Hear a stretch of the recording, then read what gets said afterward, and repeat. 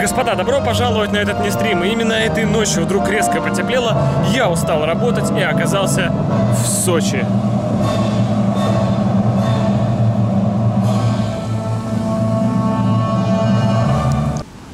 Собственно, почему именно Сочи?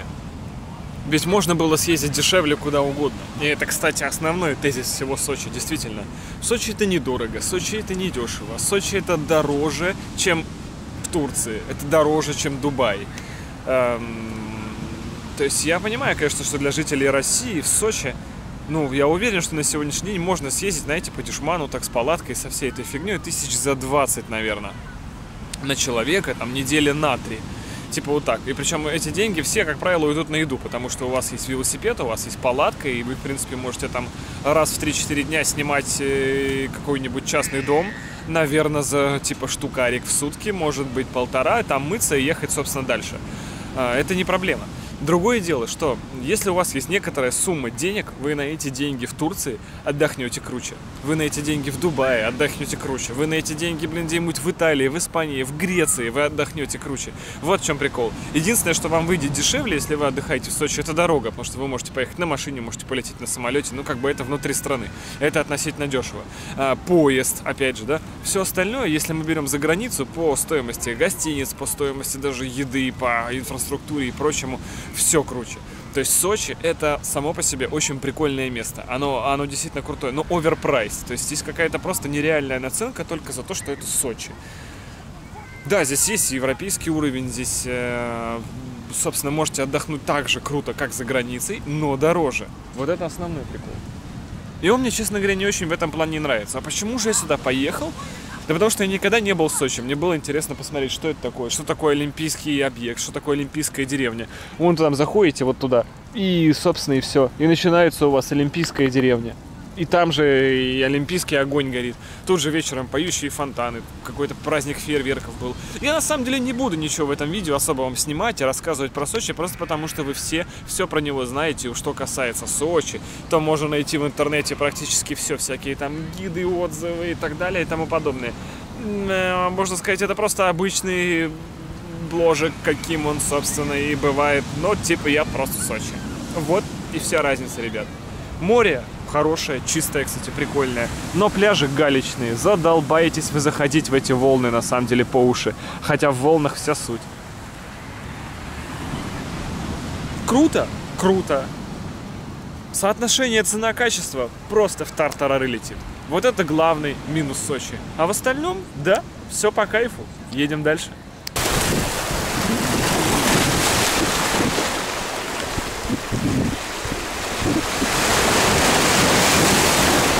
Вопросу о том, почему я все-таки полетел на самолете, а не поехал на машине. И зачем брать машину в прокат здесь? Ну что, смотрите, дорога сюда, учитывая, что я иду не один, а с родственниками, э, займет примерно три дня. Ну, допустим, два, если сильно лупить. За, ну, понимаете, никак не получится одному водителю, даже если меняться. Воу! Ну, это просто трэш. Не получится ехать просто безостановочно. Поэтому три дня в одну сторону, три дня в другую сторону. Итого 6 дней я потратил бы только на дорогу. То есть я именно бы потратил, я потерял бы даже бы эти 6 дней. Это не очень круто, но представьте, 6 дней ничего не выходит, вообще ничего. Потому что я еду, я в руле.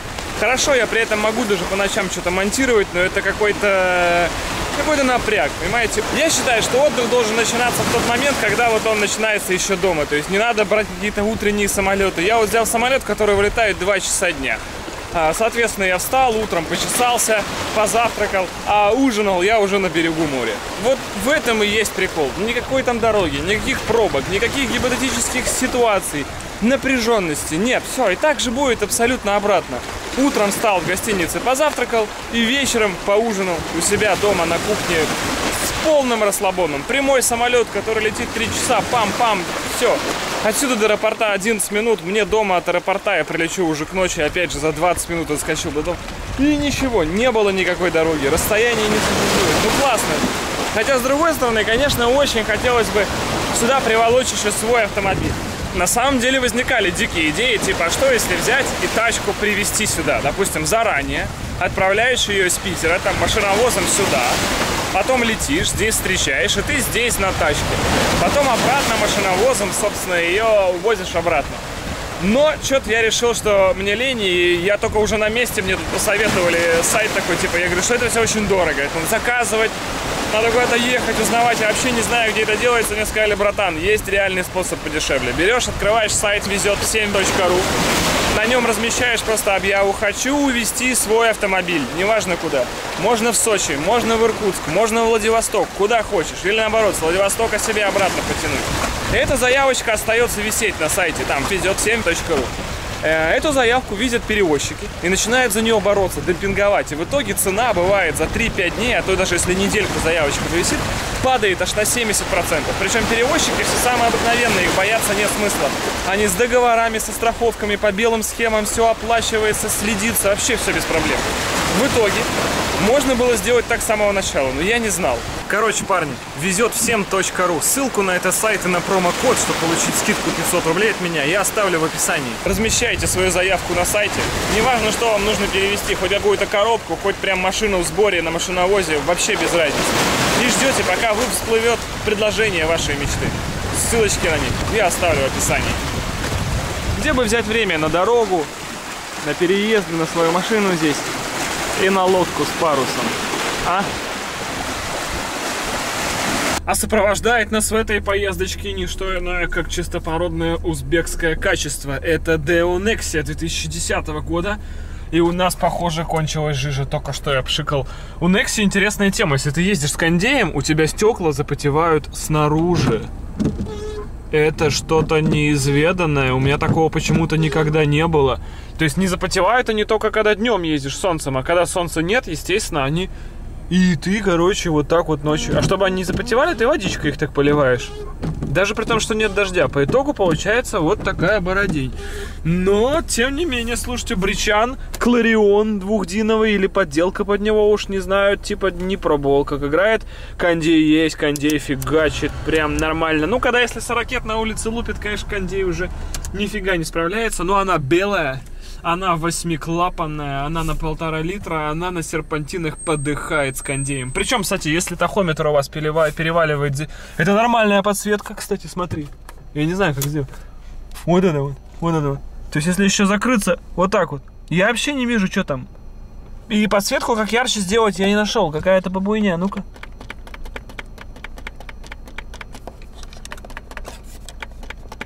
Пес его знает. Короче, я не понял, как делать эту подсветку. И если тахометр переваливает за 4000, то есть, типа, у вас какой-то кикдаун, кондей отключается автоматически, и тачка начинает неистово валить. Но скажу вам по секрету, Тазик на шестнаре бы ее, конечно, порвал. Да, до отечественного автопрома этой тачки далеко. Но она мягче, она, наверное, просторнее, чем, э, собственно, тазы. Вот поскольку я вот такой весь на свежих эмоциях, прям только-только-только, как вы понимаете, со всей этой фигни вышел, пересел. Поэтому в целом тачка, конечно, ничего так арендная. И стоила, самое главное, эта тачка, короче, стоила, ребята, на полтора дня два косаря. Она в день стоит 1300 рублей. Она с небольшими покоцами, но она, тем не менее, в хорсосте, все дела. Смотрите, какой бодряк. И она ездит. Мы на ней проехали километров, наверное, 200 за эти два дня. съездили в Красную Поляну, съездили в пещеры, съездили еще на кое-какие водопады. Короче, все огонь. Опа, у нас только один габарит горит. Я этого не знал. Но ближние горят оба, точно. Проверял в отражении стачек видать. Короче, это практически пушка. Но 2010 год, честно говоря, для Nexia это такое время уже немножечко умирать, видите, потому что фары э, и все остальное прочее о том, что, что это, ребята, машина уже на коленях. Даже несмотря на 10 год. Но она в хорошем состоянии, кстати, ничего не воет, не гудит. Но, тем не менее, это весла. Естественно, это весла, это тряпочка. Но какая разница? Какая разница, господа, если это стоит 1300 рублей в день? На ту же Красную Поляну отсюда такси стоит только в одну сторону полторы. Эта тачка за полтора дня вышла нам в 2000. Ну и бенз. Да, я спалил полбака на 800 рублей еще заправил. Короче, 2 800 и вы на бричане. Да, не топовый бричан, но за, две, за два косаря, кстати, у них же можно было взять Солярис уже на автомате. Я подумал, блин, ну смысл нормально, ну на палке фигачишь, вот. Плюс это офигенный способ закосить под местного. Как пацан ездишь, короче, вообще не выделяешься. Номера-то 123, беленькая, Nexia, все, чё, вообще прямо комар носу не подточит. Все шикарно. Так что, ребят, на будущее, если у вас какие-то перемещения, причем я просто нагуглил это в интернете, то есть это не какая-то там контора по знакомству, это не какие-то там по блату и так далее. Короче, просто гуглите прокат авто. Позвонил в одно, нет, позвонил в другое, нет, позвонил в третье, есть, вот осталось Nexia за 1300. Все, огонь. Не надо никаких такси, не надо ничего делать. Просто берете такой брещан, ездите и конкретно экономите бабки. И, и ну, реально, кайф. Nexia, спасибо. Но сейчас мы ее отдаем.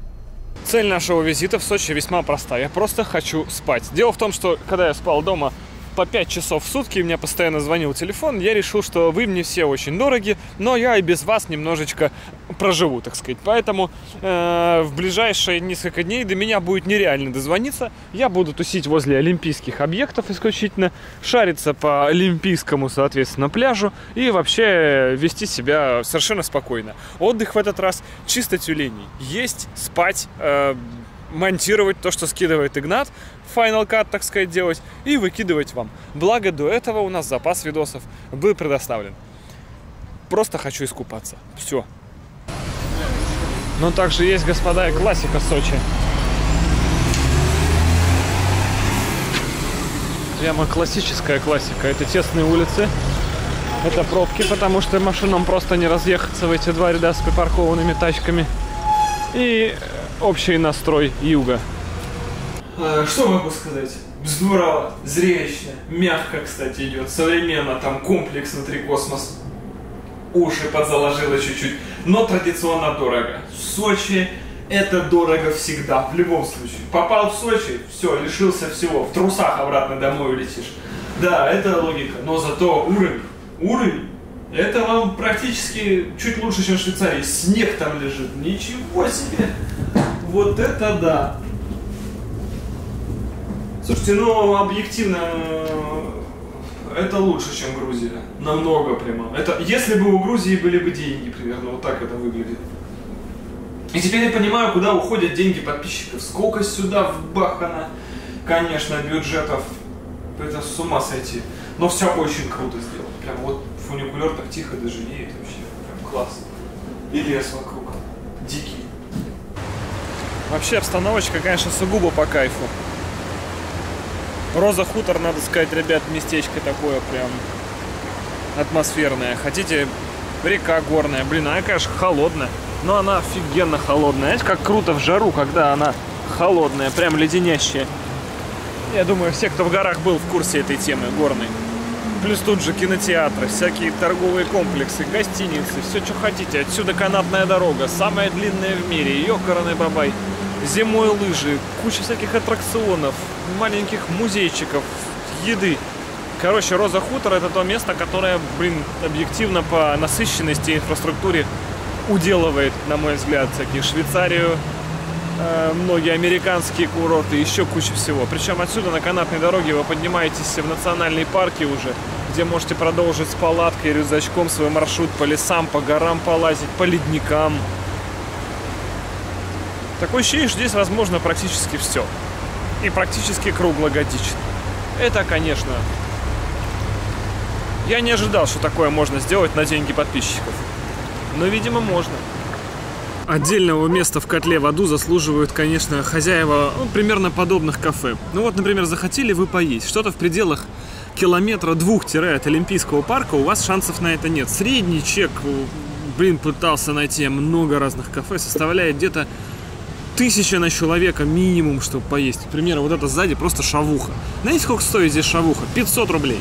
500 рублей стоит шавуха, еще без гарнира и без хлеба, которая будет в итоге, и без чая. Это чисто шаверма.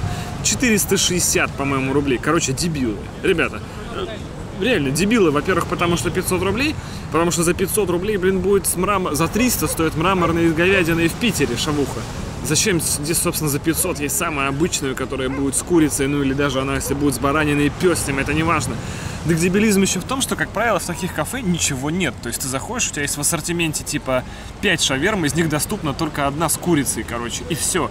Как меня подкаляют такие темы, когда у вас шавуха стоит столько же, сколько в ресторане в центре, в Питере, где-нибудь с видом на Дворцовую, она стоит столько же, если не дороже, так еще и половины из всего нет. То есть если дебилы, во-первых, делают ценник просто выше московского и питерского, во-вторых, они элементарно не могут купить жрачки, чтобы приготовить то, что у них есть в меню. Блин! И вот таких дебилов здесь в плане кафе реально 80%. Нормально поесть где-нибудь за адекватный ценник надо просто поймать такси и уехать за 2 километра от Олимпийского парка. Там есть столовая, там есть кафешка, там уже все нормально. Но подступиться как, хотя бы как-то к олимпийским объектам вообще нереально. И вот от этого пригорает. То есть ты, оказываясь здесь, просто не можешь пожрать. Вот ты сейчас не хочешь с курицей есть шаверму, а с чем-то другим хотя бы у тебя этого не получится. И стоить это в любом случае даже с курицей будет 500 рублей.